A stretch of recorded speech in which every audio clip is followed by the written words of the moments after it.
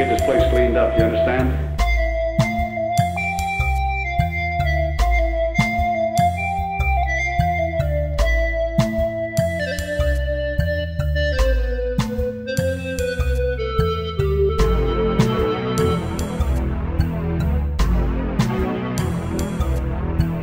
I, I don't I don't like them anymore.